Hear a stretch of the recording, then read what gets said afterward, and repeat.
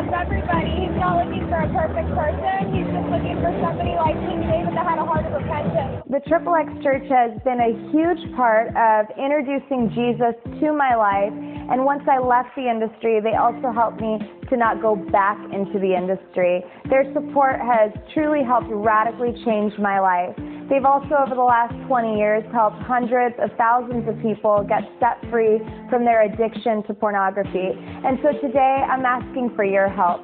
Visit xxxchurch.com slash donate to give today to be a part of what God is going to do over the next 20 years in this ministry.